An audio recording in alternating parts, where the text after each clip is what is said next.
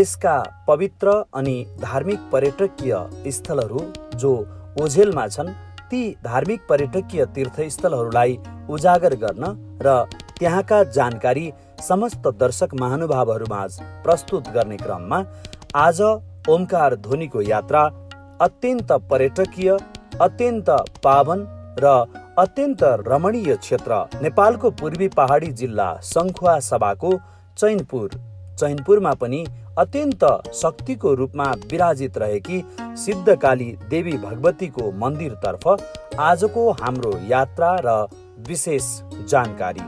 शङ्खा सभा स्वच्छ प्यारो हिमालको काखमा उत्तर दूर हिमशैल यो मकालुको साथमा।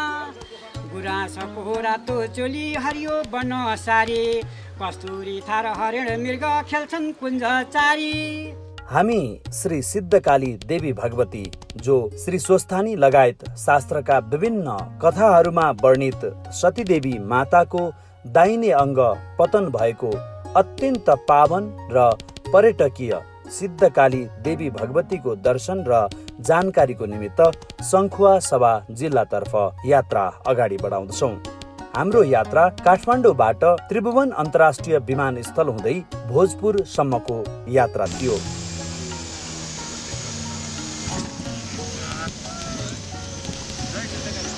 दर्शकबिन्द आज म अहिले यतिखेर यो नेपालको पूर्वी पहाडी जिल्ला भोजपुर आइपुगेको छु। त्रिभुवन अन्तर्राष्ट्रिय विमानस्थलदेखि भोजपुरसम्मको यात्रा अत्यन्तै आनन्द भयो र हाम्रो यो यात्रा विशेष गरी धार्मिक आध्यात्मिक र सांस्कृतिक पर्यटनको लागि महत्त्वपूर्ण यात्रा छ। र भोजपुरको यात्रा गरिसके पश्चात भोजपुरमा विराजित सिद्धकाली देवी जो माता सती देवीको देब्रे आँखा पतन भएको किम्बदन्ती रहेको छ उक्त दर्शन गरिसके पश्चात सम्भवतः उनै माताको कृपा र यो यात्राको सिद्धि पुरा गर्न होला देब्रे आँखाको दर्शन गरिसके पश्चात माता सतीको दाहिने आँखा पतन भएको साक्षात सिद्धकाली देवी भगवती शङ्खुवा सभा जिल्लामा विराजित हुनुहुन्छ भन्ने कुरा चर्चा चल्न थाल्यो। अनि हाम्रो यात्रालाई सार्थक बनाउन राष्ट्रिय वाणिज्य बैङ्कका प्रमुख कार्यकारी अधिकृत श्री किरण कुमार श्रेष्ठज्यू उक्त सङ्खुवा सभाको चैनपुर क्षेत्रमै जन्मनु भएको कारणले उहाँकै प्रेरणा र सहयोगमा हामीले भोजपुर जिल्लाबाट अब सङ्खुवा सभा जिल्ला जाने तय गर्दछौँ र हाम्रो यात्रा भोजपुरमा विराजित साक्षात सिद्धकाली देवीको दर्शन र उक्त क्षेत्रका ग्रामीण देवी देवताहरूको दर्शन गर्दै भोजपुर दिङ्ला र सङ्खुवा सभा जिल्लाको पावन पवित्र क्षेत्र मनोकामना हुँदै हाम्रो यात्रा चैनपुरतर्फ अगाडि बढेको थियो। चैनपुर बजार पुग्दा उक्त दिन हामी रात्रिको समयमा चैनपुर बजार पुग्यौँ। चैनपुर बजारमा पुग्ने बित्तिकै हामीलाई उक्त क्षेत्रका स्थानीय विभिन्न सङ्घ संस्थाका व्यक्तित्वहरूले हृदयदेखि नै सङ्खुवा सभा चैनपुरको स्वागत गर्नुहुन्छ। यसरी भव्य रूपमा उक्त क्षेत्रमा ओमकार ध्वनि कार्यक्रमलाई स्वागत गरिसके पश्चात हामी केही बेर विश्राम गर्छौँ। उक्त समयमा स्थानीय केही व्यक्तिहरूसँग परिचयात्मक कार्यक्रम हुन्छ र परिचयात्मक कार्यक्रममै सङ्खुवा सभा र चैनपुरको बारेमा स्थानीयहरू आफ्ना भनाइ र अभिव्यक्तिहरू राख्नुहुन्छ। र समग्र यो चैनपुरलाई एउटा पर्यटकीय केन्द्रको रूपमा विकास गर्ने सिलसिलामा हामी चाहिँ एकबद्ध भएर यहाँ अहिले चाहिँ लागि परिरहेको अवस्था छ। तपाईँहरू यहाँ आउनुभएको छ म विशेष स्वागत गर्छु। सबैलाई नमस्कार। मेरो नाम राजकुमार नालानी हो। मेरो स्थानीय यही नै पर्छ। मेरो नाम चाहिँ विनोद साके हो। म चाहिँ पेसाले फोटोग्राफर हो होइन? म यस यही स्थानीय यही जन्मेको मान्छे। नमस्कार। मेरो नाम मेरो नाम रमेश कर्मचार हो चेम्पुर बजार हो। म सानो सानो व्यवसाय गर्छु। नमस्कार। म एलिना श्रेष्ठ। मेरो घर चैनपुर नगरपालिका छ यही हो। पेसाले म होटल व्यवसाय। र पर्यटन विकास समितिको उपाध्यक्ष र महिला संस्थामा पनि काम गर्छु। यहाँ सबैलाई नमस्कार। म ध्रुव कुमार जोशी घर यही चैनपुर छमा पर्छ बजारमा। साँच्चै मठ मन्दिरले घेरिएको देवी र महादेवले घेरिएको ठाउँमा हामी साँच्चै सुरक्षित छौँ भन्ने हामीलाई लाग्छ।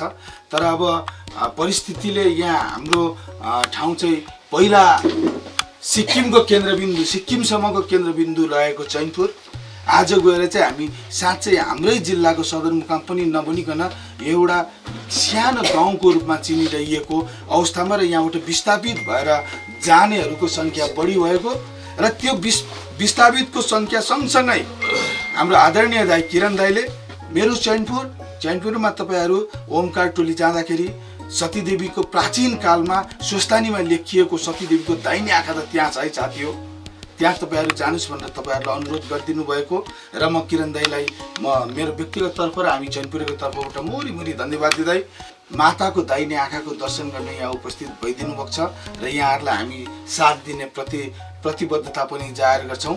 चैनपुर अब यहाँको क्लबको समाजसेवा युवा क्लबको अध्यक्ष। अब यहाँबाट किरण प्रकारले मलाई के भन्नुभयो भने यो काम अब तिमीले जसरी भए पनि यो हाम्रो पर्यटकलाई लाई कसरी भित्र्याउने कसरी के गर्ने भनेपछि यो ठाउँ देखाइदिनुपर्छ भनेर जिम्मेवारी दिनुभएको छ। यसको लागि भोलि अब गर्नेछु देखाउनेछु के के गर्नुपर्ने। यसरी सबैका अभिव्यक्तिहरू श्रवण गरिसके पश्चात जे होस् हामी अत्यन्त पवित्र अनि पावन साक्षात सतीदेवी माताको दाहिने आँखा पतन भएको सिद्धकाली देवी भगवती माताको क्षेत्रमा छौँ भनेर ढुक्कसँग उक्त दिन विश्राम गर्छौँ।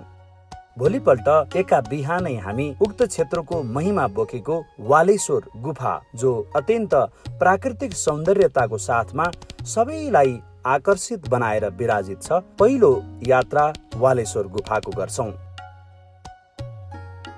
केही बेरको यात्रा र भ्रमण पश्चात हामी पुनः चैनपुर बजार आइपुग्छौँ। हो यो चैनपुर बजार कुनै समय यहाँ मानिसहरूको अत्यन्तै ठुलो भिडभाड लाग्थ्यो।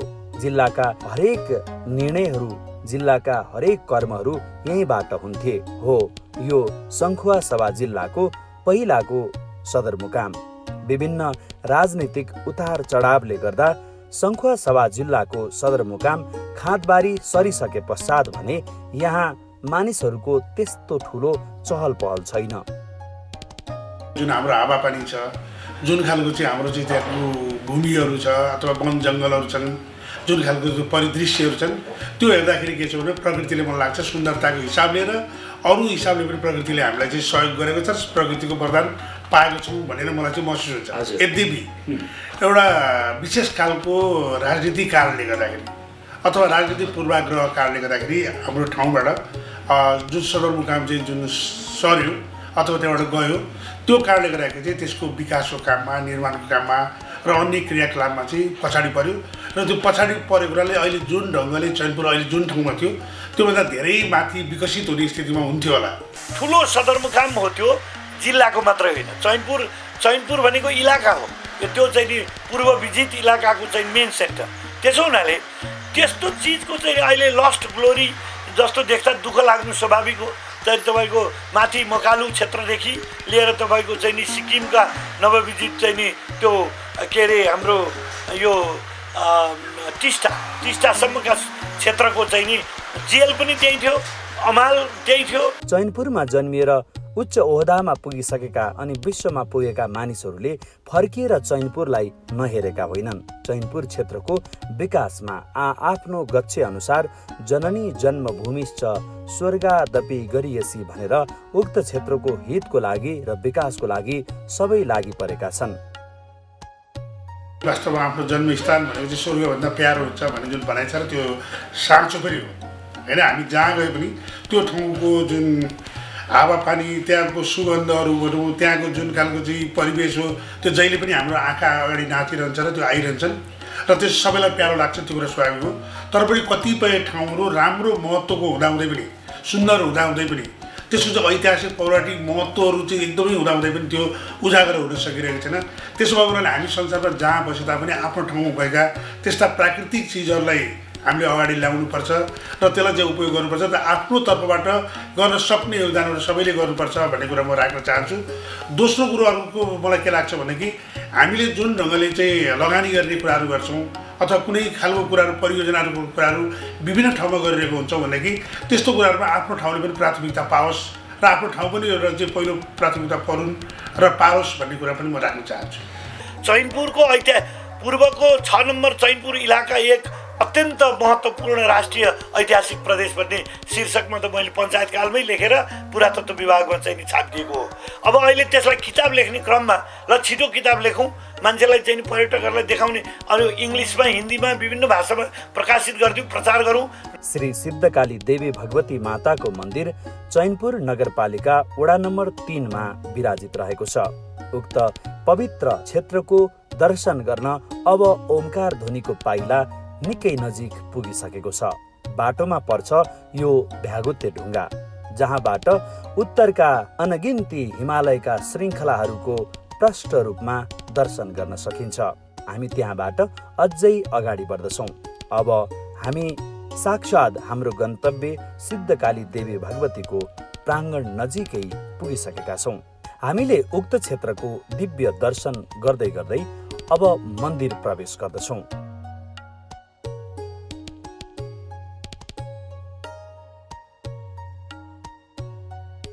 अब म आज तपाईँलाई एउटा त्यस्तो पवित्र क्षेत्रमा पुर्याउँदैछु जुन पवित्र क्षेत्रबाट ज्ञानको आँखा देख्न सकियोस् जुन पवित्र क्षेत्रबाट विश्वलाई शान्तिको सन्देश प्रवाह गर्ने त्यो आँखा देख्न सकियोस्। आहा कति राम्रो! सिद्धकाली देवी भगवतीको मन्दिर अहिले त सुन्दर यो द्वार समेत तयार भइसकेको रहेछ। सङ्खुवा सभामा जन्मनुभएका अनगिन्ती व्यक्तिहरूले आफ्नो स्वस्फूर्त सहयोगबाट उक्त सिद्धकाली मन्दिरको उत्थान गर्नुपर्दछ भनेर आजकल सबैजना लागिसक्नु भएको रहेछ। कति निर्माण भइसकेका रहेछन् मुहार परिवर्तन भइसकेको रहेछ त कति अझै पनि त्यस क्षेत्रको विकासको लागि लागि पर्नु पनि भइरहेको रहेछ। हामी मन्दिरभित्र प्रवेश गर्दै गर्दा उक्त मन्दिरका पुजारीले हामीलाई ढोकैमा आएर स्वागत गर्नुभयो। हामी प्रवेश गर्यौँ र मन्दिरलाई दाहिने पारेर मन्दिरको परिक्रमा गरिसके पश्चात अब हामी साक्षात् देवी भगवती सिद्धकालीको मूल मूर्ति र गर्भगृह प्रवेश गर्दैछौँ। हेर्नुहोस् यो साक्षात् सिद्धकाली देवी भगवतीको गर्भगृह। देख्दैमा कति आनन्ददायी छ। नेपालका पवित्रतम सिद्ध भूमिहरूमध्ये यो क्षेत्र नामैले सिद्धकाली। अनि अहिले हामीले दृश्य देखाइरहेको यो मूर्ति र यो स्थान। साक्षात् माता सतीले नेपालका विभिन्न क्षेत्रहरूमा आफ्ना अङ्ग पतन गराउनु भएको छ र त्यहाँबाट शक्ति प्रवाह गरिरहनु भएको छ। आफ्ना समस्त प्राणी जगतको लागि शक्ति र सिद्धि प्राप्त गर्ने नामैले सिद्धकाली देवी भगवतीको दिव्य आराधना हामी सबै मिलेर गर्यौँ हामीले यति गरिसके पश्चात अझ अर्को आनन्द त उक्त मन्दिरमा पुगिसके पश्चात मन्दिरका मूल पुजारीले मिठो स्वरमा सम्पूर्ण भक्तजनहरूलाई आशिष दिँदै व्यक्त गरेका यी बाणीहरूले त झन मनै आनन्द बनाइरहेको थियो। जानी ज्ञानी चरण गुण पर्दा जनशिरधरी बन्धनमा गिर्दा मोह पर्दा धनपुत्र नाशमा पनि रोक्कुव जोडाउँदा ठुलो भयो हुँदा कल्याण वृषलौ भनी जसले पूजन गर्छ भक्ति रसको तन मन सजिलो धरी। उसमाथि करुणा गरिदिनु सजिले सब दुख मनेको हरि। शरणागत नाथ परिद्रण प्राणी। सर्वे साथी रे देवी नारायणी नमस्तुते या देवी सर्वभूतेषु शक्ति रूपले सोचेता नमस्तस्यै नमस्तस्यै नमस्तस्यै नमो नमः। या देवी सर्वभूतेषु दयारूपेण नमो तस्यै नमो तस्यै नमो नमो या देवी सर्वभूतेषु विद्यारूपेण सदा नमो तस्यै नमो तस्यै नमो नमो या देवी सर्वभूतेषु पितृरूपेण सदा नमो तस्यै नमो तस्यै नमो नमो जयन्ताम देवी चामुण्डे भूतार्थि हारिणी सर्वभूते देवी कालरात्रि नमस्ते जय माता भगवती या देवी भगवती साक्षात् भगवती माताले हजुरको एकदम सरल स्वरूपमा सबै चिताका कुरा कुनै हामीलाई बाधा बिना भरुण सिद्ध काली माताले सधैँभरि पुरामा सुन्न पाइयोस्। जय होस्। कहिल्यै पनि हाम्रो रोग बिहान लागुन बाधा बिना एकदम राष्ट्रको सम्पत्ति हुन पाइयोस् सुन्न पाइयोस्। जय। सङ्खुवा सभा चैनपुर नगरपालिकाको वडा नम्बर तिनमा विराजित यस सिद्धकाली माताको मन्दिर। विभिन्न शास्त्रका कथाहरूमा माता सतीको दाहिने आँखा पतन भएको क्षेत्र। स्वयं माता सतीको आँखा पतन भएको कारणले गर्दा मानिसको जीवनमा नयनको कति महत्त्व हुन्छ र त्यो नयन भइदिएन यदि भने त्यो संसारको के अर्थ हुन्छ र भनेर हामी सबैले भगवान्का अनेकौँ रूपहरूको दर्शन गर्ने गर्दछौँ। त्यसमा पनि सिद्धकाली देवी भगवती माताको नयन पतन भएको क्षेत्र। आज एउटा अत्यन्त दुर्लभ स्वरूप पूज्यवर गुरुदेवको कृपा। हामीलाई यहाँ आउँदाखेरि सबैले यसरी चाहिँ यस्तो कृपा पाइँदैन। मैले एउटा पवित्र दर्शन साक्षात् सिद्धकाली देवी भगवतीमा माता सतीदेवीको दाहिने आँखा। पतन भएको र जुन आँखा अहिले गुरुदेवले हामीलाई देखाउनु भएको छ र यो मैले आफ्नो हातबाट यहाँहरूलाई प्रत्यक्ष रूपमा दिव्य दर्शन यो दर्शन एकपटक मात्रै पनि जो कोहीले गर्दछ यदि भने साक्षात् भगवतीको जुन कृपाद्वारा एउटा दिव्यता प्राप्त हुन्छ। म गुरुदेवलाई टक्राउँछु गुरुदेव। गुरुदेव जय माता भगवती साक्षात् भगवती माताले हजुरको एकदम सरल स्वरूपमा सबै जय गुरुदेव। ओ। चिताका कुरा कुनै हामीलाई बाधा बिना भरुन् सिद्ध काली माताले सधैँभरि पुरा सुन्न पाइयोस्। काली माता रे हजुर हामीलाई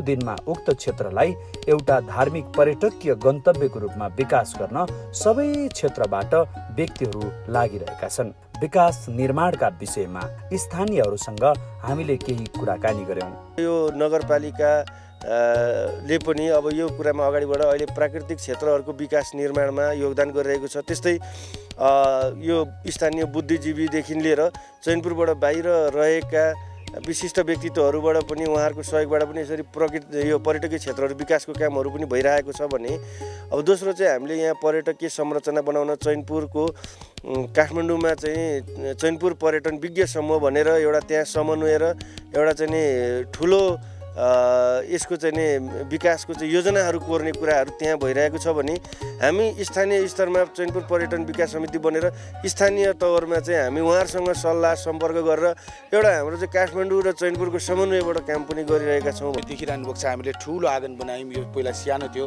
अहिले सम्पूर्ण यो आँगनमा चाहिँ यो छप्पर ढुङ्गाहरू छापेर चाहिँ गरिदिने कृष्ण गोपाल श्रेष्ठ उहाँ पनि मुमी कसै हुनुहुन्छ? उहाँ चाहिँ फेरि आफ्नो जन्मस्थान चैनपुरमा चाहिँ एकदम आउने र केही गर्ने उहाँको चाहना अनुसार आ, पहिला यहाँ एउटा बाल मन्दिर प्रावि बनाउन चाहिँ उहाँ छिर्नु भएपछि साँच्चै यहाँ आउने बित्तिकै माताको कृपाले चाहिँ यहाँ उहाँले ढुङ्गा छापिदिन्छु भन्यो। लगभग यो एकचालिस बयालिस लाखको खर्चबाट चाहिँ यो ढुङ्गा छाप्ने काम सम्पन्न भएको छ। र फेरि पनि उहाँले चाहिँ अहिले अब यो जुन हाम्रो यो माताको यो टिनको छानो छ यो सम्पूर्ण फ्याकेर चाहिँ पित्तल राख्ने भनेर चाहिँ अहिले हामीहरूले काठ खरिद गर्न थालिसकेको छौँ र पाता चाहिँ वहीँ उहाँ के किनिसकेको छ। र यहाँको मानिसहरू मलाई लाग्छ एकदम सहयोगी छन् र यहाँहरू आउनुभयो सम्पर्क गर्नुभयो भने कसरी व्यवस्था गर्नुपर्ने यहाँहरूलाई कुन सेवा हामीहरूले उपलब्ध गर्नुपर्ने त्यसको लागि पनि हामीहरूले एउटा सूचना केन्द्र भनेर तयार गर्न गर्दैछौँ। र त्यो सूचना केन्द्र मार्फत पनि यहाँहरू जानुभयो भने यहाँहरूको सेवा यहाँहरूको सहयोगको लागि चाहिँ हामी सदैव यो टोलीमा यो सिद्धकाली माताको समिति लगायत हामी सम्पूर्ण यहाँहरूको सहयोगमा लाग्नेछौँ र यहाँहरू सम्पूर्ण चाहिँ एकचोटि हाम्रो यो हिमाली जिल्ला सङ्खुवा सभाको चैनपुरमा रहेको सिद्धकाली माताको दाहिने सतीदेवी माताको दाहिने आँखा खसेको ठाउँको दर्शन गरेर यहाँहरूको आत्मा सिद्ध र यहाँहरूले चिताएको काम पुरा गर्नुहोस् भनेर यहाँहरूलाई आउनको लागि म हार्दिक निमन्त्रणानी गर्छु। अब यसमा भनेपछि यो ढुङ्गा अघि हाम्रो लव अङ्कलले भनिसक्नुभयो यहाँको सबै उदाहरणहरू। अब यहाँ भएपछि हाम्रो यो मेला लाग्ने यहाँ उ गर्ने सबै यहाँ धार्मिक पर्यटन क्षेत्र बनाउनेको लागि हामी लागिरहेका छौँ। पहिला चाहिँ अब यातायातको सुविधा थिएन विद्युतको सुविधा थिएन धेरै चाहिँ विकट एरिया थियो। त्यसले गर्दाखेरि पैदल हिँडेर आउनु पर्थ्यो। त्यसले गर्दाखेरि धेरै चाहिँ यहाँको सन्देशहरू चाहिँ बाहिर पठाउन सकिएको अवस्था थिएन। तर अहिलेको परिवेशमा भनेको चाहिँ अब यातायातको सुविधाहरू पनि भइसकेको यसरी धेरै चाहिँ चाहिँ हरेक क्षेत्रहरूको सुविधा भइसकेको कारणले गर्दाखेरि चाहिँ अहिले यहाँसम्म आइपुग्नुलाई चाहिँ सहज वातावरण छ। त्यसले गर्दाखेरि चाहिँ चेनपुरको यस सिद्धकाली माता चाहिँ यो चेनपुरको मात्रै नभएर हाम्रो नेपालको मात्रै नभएर विश्वकै चाहिँ एउटा चाहिँ लोकप्रिय क्षेत्र हो अथवा धार्मिक क्षेत्र हो यो चाहिँ आध्यात्मिक चिन्तनहरू चाहिँ बढी यसले चाहिँ अनुशासनको कुराहरू चाहिँ नेपाललाई मात्रै होइन कि विश्वलाई नै अनुशासनको कुराहरू सिकाउन सक्ने किसिमको चाहिँ एउटा सतीदेवीको दाहिने आँखा पतन भएको ठाउँ हो। त्यसले गर्दाखेरि पहिलाको र अहिलेको अलिकति फरक छ। त्यसले गर्दाखेरि अहिले बढीभन्दा बढी चाहिँ आध्यात्मिक चिन्तनहरू लिएर केही कुराहरू अगाडि गऱ्यो भनेदेखि सत्यमा बसेर काम गऱ्यो भनेदेखि त्यो चाहिँ सफलता प्राप्ति हुन्छ भन्ने लाग्छ। मलाई प्राचीन कालमा सतीजीको आँखो पतन भएको। सिद्धकाली नामले नै प्रख्यात हुन गएको। सिद्धकाली मेला लाग्ने बाला चतुर्दशी। दुनियाँ गर्छन् भजन कीर्तन मन्दिर छेउमा बसी। अब सिद्धकाली हाम्रो जुन स्वस्थानी व्रतकथामा जुन हामी पढ्छौँ त्यो पढ्दाखेरि महादेवले जुन सतीदेवीको जुन शरीरलाई चाहिँ बोकेर चाहिँ जुन विभिन्न ठाउँमा चाहिँ भ्रमण गर्नुभएको थियो र त्यसमा पछि जुन शरीर पतनको जुन कथा छ त्यो कथासँग जोडिएको चाहिँ हाम्रो त्यो स्थान हो। र त्यो त्यो ठाउँमा चाहिँ के छ भने सतीदेवीको दाहिने आँखा पतन भएको भनेर जुन सिद्धेश्वर महादेवको नाममा पनि र सिद्धकाली देवीको नाममा त्यो प्रसिद्ध छ जुन कुरो स्वस्थानीमा पनि उल्लेखित कुरा छन्। त्यसो भएको हुनाले त्यो एउटा चाहिँ त्यो खालको चाहिँ इतिहास अथवा त्यो खालको चाहिँ गौरव बोकेको चाहिँ ठाउँ हो। र हामीलाई जति पनि लाग्छ के छ भनेदेखि हामी एउटा हाम्रो जुन एउटा भक्ति भनौँ अथवा सिद्धकालीप्रतिको जुन हाम्रो आस्था हो जुन भावनाहरू हो जुन हामीले बाल्यकालदेखि सुन्दै आयौँ गर्दै आयौँ र जुन के अरे गरिरहेको छौँ त्यो आधारले पनि के छ भनेदेखि उहाँकोमा चाहिँ एउटा ठुलो शक्ति छ र ठुलो प्रेरणा छ भन्ने खालको कुरोहरू चाहिँ हामी सबैलाई महसुस हुन्छ। त्यसो भएको हुनाले हामी कुनै पनि कामहरू गर्दाखेरि जहिले पनि सिद्धकाली भगवतीलाई सम्झने कुराहरू र मलाई लाग्छ सिद्धकाली भगवतीको त्यही खालको चाहिँ जुन अनुकम्पाले भनौँ होइन अहिले पनि के छ भने चैनपुरको धेरै मान्छेहरू धेरै ठाउँमा पुग्न सफल पनि भएको छन् र र त्यो चाहे त्यो विभिन्न पदीय हिसाबले होस् चाहे त्यो अब अरू सामाजिक क्रियाकलापको हिसाबले होस् आर्थिक क्रियाकलापको हिसाबले उन्नति गर्न सकेका छन्। त्यसो भएको कुराले त्यो चाहिँ एउटा साक्षात देवी हो भन्ने खालको कुरो मैले चाहिँ जहिले पनि लागिरहन्छ र म त्यो त्यो अनुभूति गरिरहन्छु। पर्यटकीय क्षेत्र सङ्खुवा सभाको सिद्धकाली मन्दिर परिसरमा साक्षात् प्रकाशेश्वर सिद्धेश्वर महादेवको पनि दिव्य दर्शन गर्न सकिन्छ। उनै देवी भगवतीको दर्शन गर्न आउँदा आफ्ना सबै मनोकामना पुरा हुने त्यसैले सिद्धकालीलाई मनमा नराखिकन र उनलाई नभागिकन कुनै कर्म गर्न सकिँदैन भन्ने भाव उपस्थित दर्शनार्थीहरू खुलेर व्यक्त गर्ने गर्दछन्। मेरो चाहिँ यहीँ हो। म चाहिँ अब यहीँको जन्म मेरो यहीँ हो। मलाई चाहिँ एकदम विश्वास लाग्छ। अब हाम्रो चाहिँ यस्तो छ सिद्धकाली मन्दिरमा यहाँ सत्यदेवीको आँखा जेउस भएको होइन जस्तै आफूले सोचेको कुराहरू पुग्छ। यहाँ आएर हामीले दर्शन गऱ्यौँ मनको कुराहरू सफल हुन्छ। तपाईँहरू पनि आउनुहोस्। म त इटालीदेखि आएँ म त्यही भन्न चाहन्छु। चैनपुरमा त यहाँको आउँदाखेरि पनि यो चाहिँ बडा आनन्द आनन्दको अनुभूति भइरहेछ। एकचोटि चाहिँ जीवनमा हरेक मान्छेले आउनै पर्ने दर्शनीय स्थल र देवीको दर्शन गरेपछि एउटा सिद्धि प्राप्ति शक्ति प्राप्ति र मोक्ष पाउनको लागि पनि यहाँ आउनुपर्छ जस्तो लाग्यो। चाहिँ अब हाम्रो आस्था पनि हो होइन? हामीले अब मान्छौँ। संस्कृति मान्छौँ अथवा परम्परा पूर्वकालदेखि नै यहाँ चाहिँ सत्यदेवीको दाहिने आँखा पतन भएको भनिन्छ र त्यो आँखालाई हेर्नको लागि पनि आउँछौँ र हामीले चाहिँ कार्यसिद्धि हुन्छ हामीले जुन काम आँटेका छौँ त्यो चाहिँ पुरा हुन्छ भन्ने हिसाबले हामी परीक्षा सम्पन्न गरेपछि पनि गरिसकेको दिन पनि आउने हाम्रो चाहिँ प्रचलन भनौँ न हामी विद्यार्थीहरू भएपछि त्यसरी आउने गरेका थियौँ। शङ्खसभा धार्मिक स्थल छन् है। सिद्धकाली मठ मन्दिर भन् भन्छन् सबैले सिद्धकाली मठ मन्दिरमा आएपछि चिताका कुराहरू पुरा हुन्छन् भन्छन्। सबै साथीहरूलाई म भन्न चाहन्छु कि शङ्खसभा जिल्लामा आउनुहोस् यहाँ सिद्धकाली मन्दिरमा आउनुहोस्। तपाईँले आफूले चिताका कुराहरू पुरा हुनेछ भन्न चाहन्छु। बिहानै अब नुहाइधुवाइ गरेर अनि हामी चाहिँ अब मन्दिरकै दर्शन गरौँ न भन्ने तरिकाले आयौँ होइन। अब हजारौँ अरू युवाहरूलाई चाहिँ अब मन्दिर अब त्यसरी विदेशहरूतिर जानुभन्दा नि आफ्नो अब परम्परा अनुसार होइन अब धार्मिक स्थलहरूमा पनि दर्शन गर्दाखेरि चाहिँ अब त्यो पनि एउटा कल्चर हो। आहा। कति राम्रो।